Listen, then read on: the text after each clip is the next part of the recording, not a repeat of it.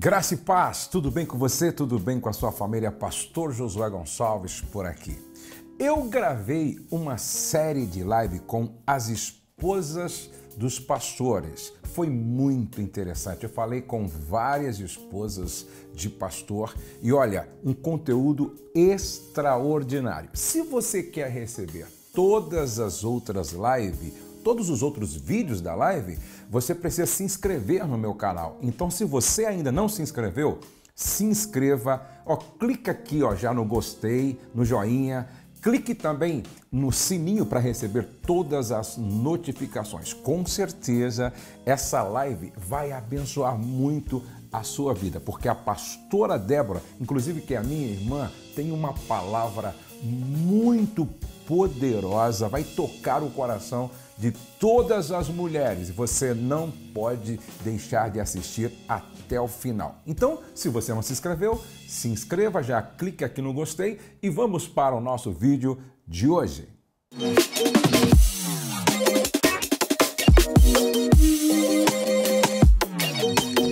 A Débora é minha irmã duas vezes. Ela é irmã oh. em Cristo e é irmã também, porque nós nascemos a partir do mesmo útero, não é? Débora Gonçalves. Débora, é verdade. você é pastora, é, você não é apenas esposa de pastor, você também exerce uma, uma função pastoral, não é? Há quantos anos? Olha, eu, eu me vejo, nós nascemos numa casa de pastor, no, né, num, num ambiente de já uma família pastoral, como você disse ontem, e, então, para mim, isso foi tão natural ser pastora. Então, para mim, pastorear é cuidar de pessoas. Então, mesmo antes de nós termos um título de pastor, né, que inclusive nós somos consagrados por você, eu, eu tive o um privilégio, assim, gente, quem você que está aí do outro lado, eu tive o um privilégio de ser casada pelo pastor Josué, eu tive o um privilégio de começar o ministério aqui com eles. Então, nós, é, assim, fui consagrada ao pastor, juntamente com o pastor Rogério, pelo pastor Josué. Então, nós já estamos aqui pastoreando junto aqui com o pastor José há 17 anos, mas nós fomos consagrados, eu creio, há uns 15 anos atrás ao, ao pastorado.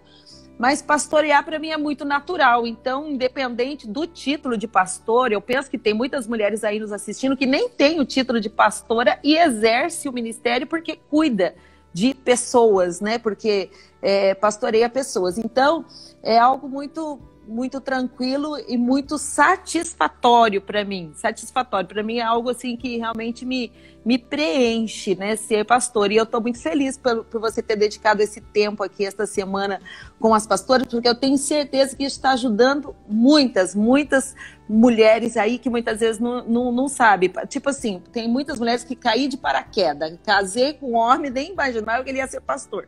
A mãe mesmo falava isso.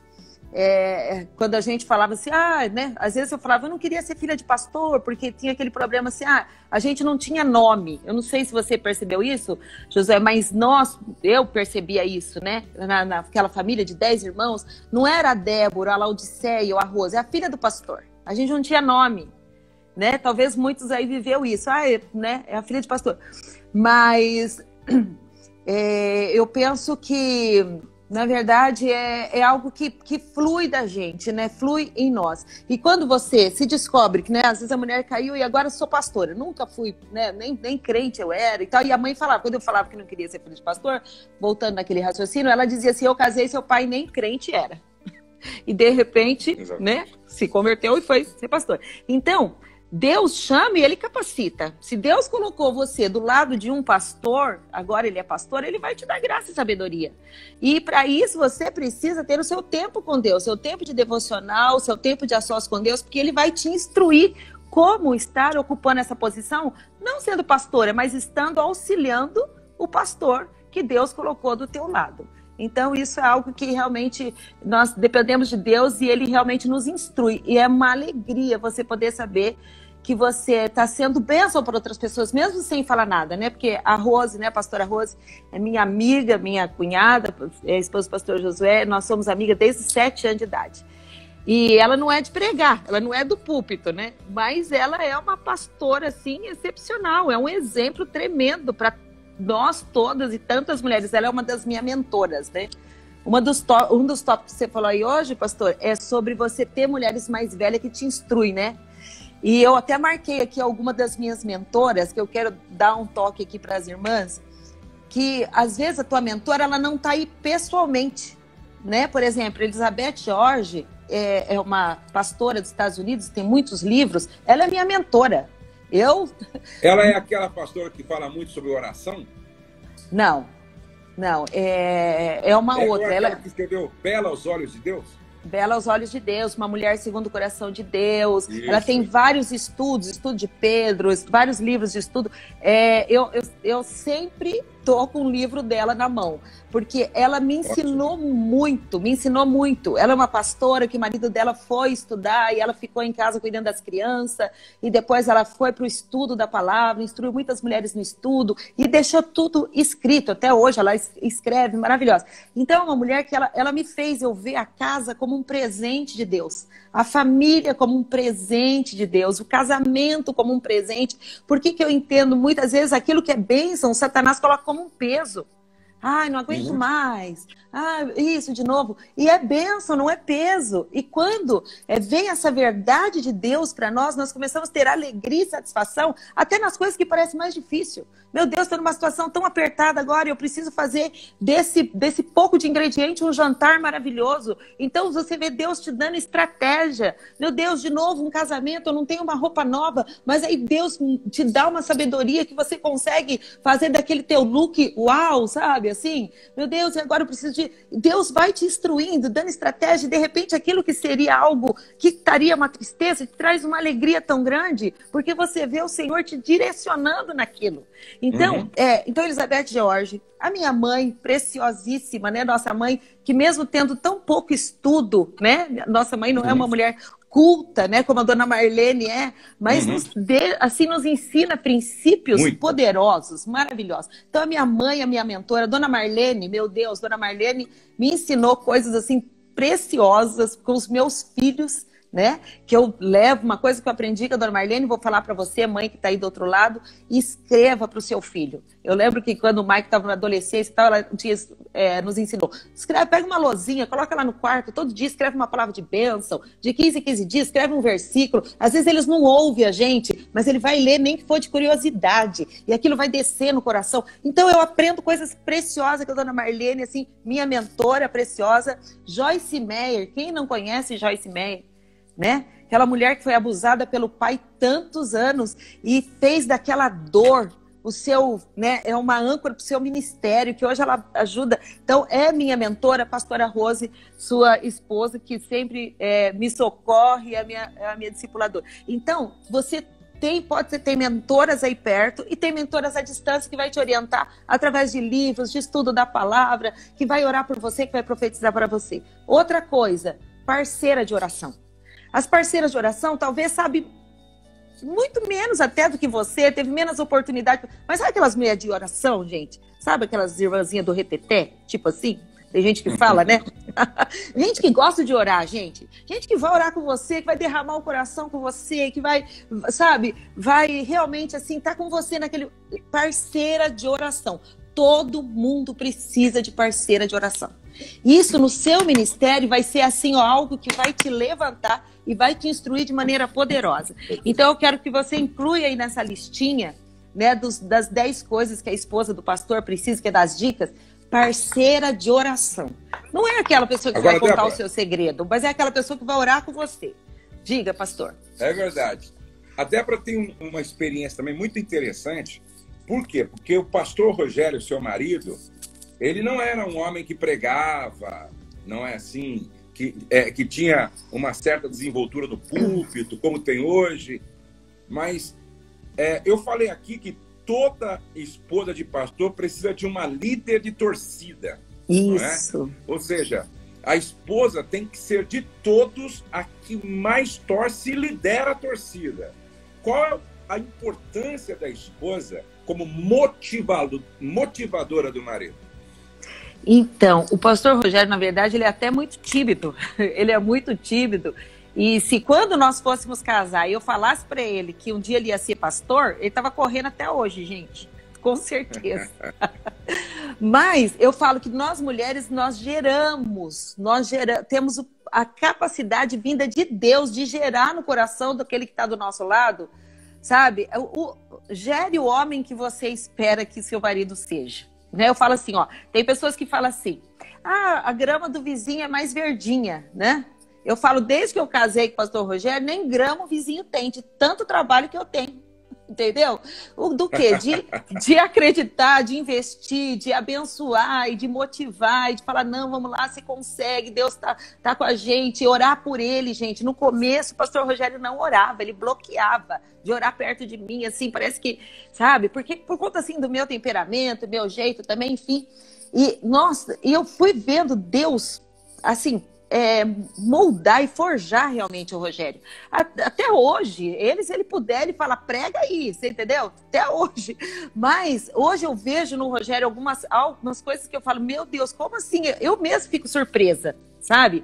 Mas eu vou contar o que aconteceu comigo, que eu nem sei se o pastor Rogério, o pastor José sabe dessa particularidade, mas eu fiz uma cirurgia em 2010, 2009, de redução de estômago, a bariátrica. E eu fiquei 30 dias sem ir para a igreja. 30 dias. E o médico, que foi o doutor é, José Rogério, que é um pastor também, falou para mim: 30 dias sem ir para a igreja e sem perguntar da igreja.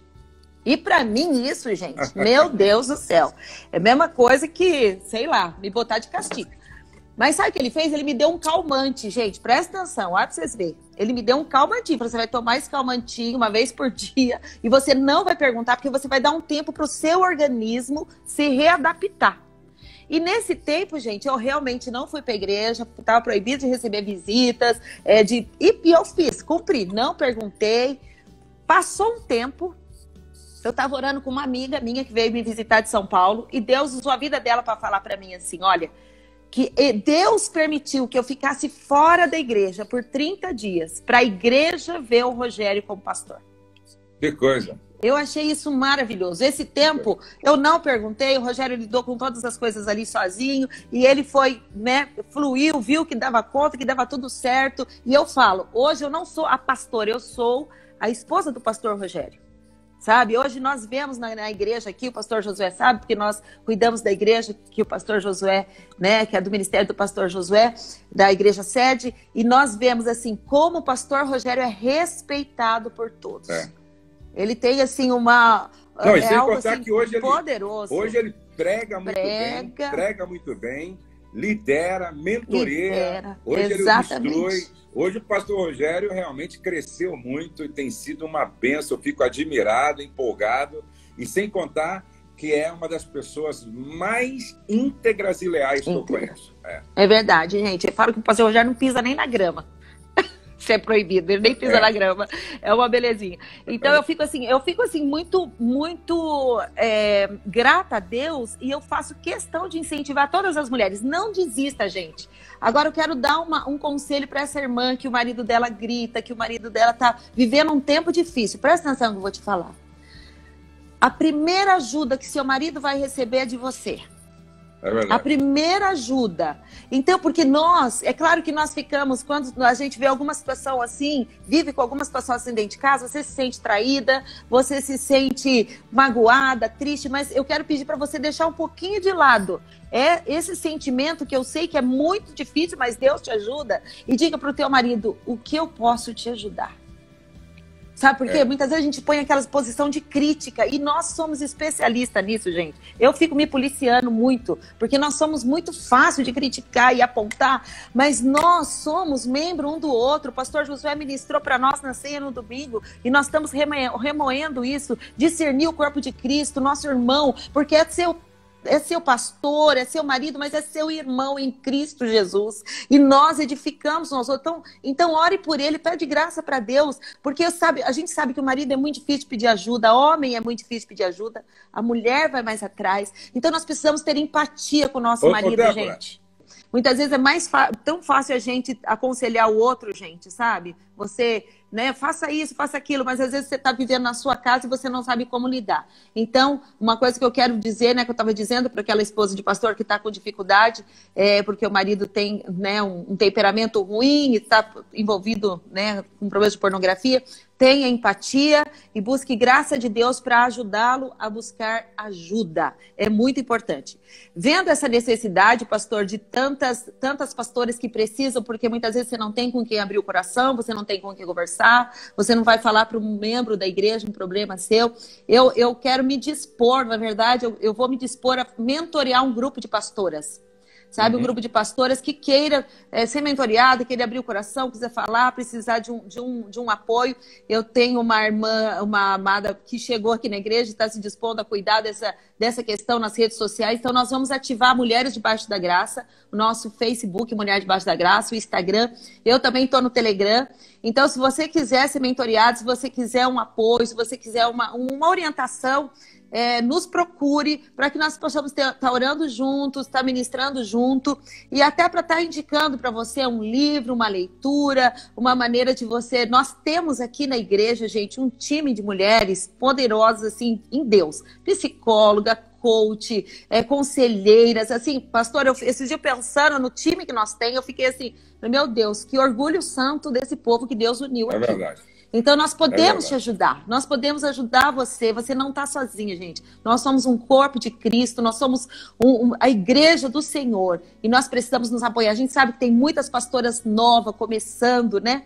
E temos muitas pastoras uhum. que já estão tão anos aí no ministério, mas nunca tiveram apoio, nunca tiveram alguém para te ajudar, para te orientar, sabe? E Deus tem vida abundante para você, mesmo no ministério. Presta atenção, sabe? O jugo do Senhor é suave, o fardo é leve. Entende? Então, uhum. é, encontre descanso no Senhor. Né? Não fique pegando é, cargas ilegais, fardo ilegal. Quando você começa a pôr sobre seus ombros aquilo que Jesus já levou na cruz do Calvário, você fica super. É, vai virar hipertensa, vai virar obesa, vai virar é, estressada porque muitas vezes nós estamos colocando fardo ilegal. Então, essa é uma das estratégias que Deus nos dá e que nós precisamos ter graça para praticar, colocar os pés do Senhor e vivermos a vida abundante no casamento, na vida com os filhos, né? Eu tenho netos, tenho filhos, tenho genro, tenho nora, e nós precisamos sim, viver esses relacionamentos todos e junto com tudo isso, nós precisamos cuidar da igreja do Senhor que ele nos deu, que ele nos deu esse privilégio. Então ele nos dá graça, ele nos chama, ele nos capacita. E o fardo do Senhor é leve e o jugo dele é suave. Presta atenção, que o Senhor traga esse alívio para o seu coração e que você tenha prazer naquilo que o Senhor te chamou para fazer. Eu tenho certeza que você gostou deste vídeo, porque esta palavra é muito edificante. Então, ó, clica aqui no gostei. Se você não se inscreveu, se inscreva no nosso canal para que você possa receber a notificação e assistir todas as outras lives que foram todas interessantes todas muito interessantes. Pega o link desta mensagem, desta live, mande para suas amigas, mande para todas as suas amigas. Vamos alcançar o Brasil com esta mensagem de transformação. E lembre-se, nenhum sucesso justifica o fracasso de uma família ou de um casamento. Você nasceu para vencer. Deus abençoe e até o nosso próximo encontro.